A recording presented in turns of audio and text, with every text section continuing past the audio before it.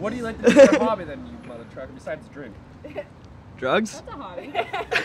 Not drugs. What kind of drugs? Jesus. So, uh, I ate morning glory seeds yesterday.